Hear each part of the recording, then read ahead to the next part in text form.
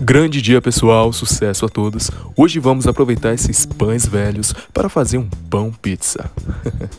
e é bem fácil. Já deixa um boa noite para mim, porque essa é mais uma receita de sucesso só para quem é amante da cozinha. então, depois de cortar todos os nossos pães em bandas, vamos colocando em uma forma, mas essa forma não precisa untar. Beleza?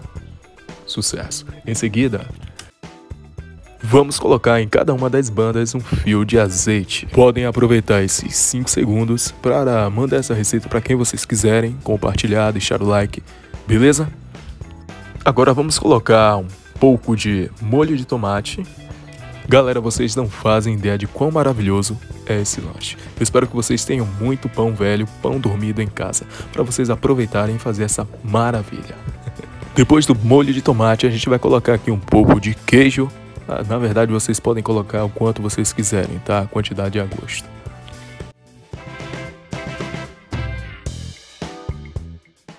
Agora temos aqui um tomate. Quem não gosta de tomate não precisa colocar, beleza? Sucesso, não tem problema nenhum. Uma cebola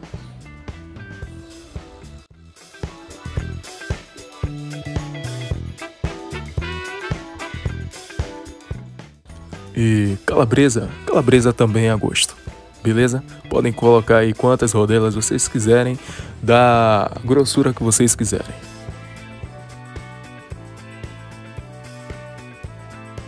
Próximo de finalizar essa receita super rápida, estamos colocando aqui queijo parmesão ralado. E por fim, vamos colocar algumas rodelas de tomate. Para deixar o nosso lanche super bonito e super saboroso. Quase tudo pronto.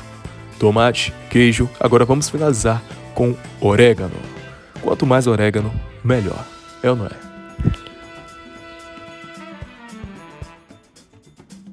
Agora, hora da gente realmente finalizar essa maravilha. Vamos levar lá pro forno. Vamos deixar 20 minutinhos deixa 20 minutinhos lá no forno e já vou adiantar o vídeo para vocês. Espero que vocês estejam gostando. Se estiver gostando, podem enviar para seus amigos, podem deixar bastante like e muito compartilhamento. Beleza? Sucesso! Olha só a maravilha que ficou. Nossa, galera, vocês não têm noção do cheiro disso aqui. É maravilhoso. Vou experimentar um e vocês vão ter a certeza daí de que vocês precisam fazer essa maravilha o quanto antes. Eu coloquei aqui também, fiz outros dois, somente com queijo e presunto.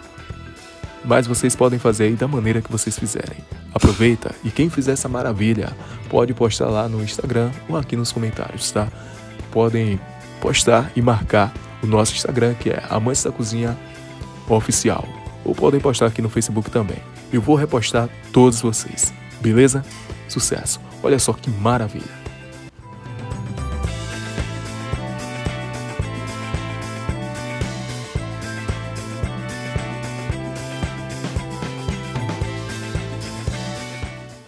E é isso. Eu espero que vocês tenham gostado. Isso aqui é ótimo.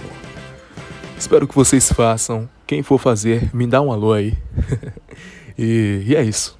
Fiquem à vontade para mandar para os seus amigos, compartilhar e deixar o like, tá bom? Amanhã estou de volta com mais uma receita fácil. Que Deus te abençoe e receba todo sucesso.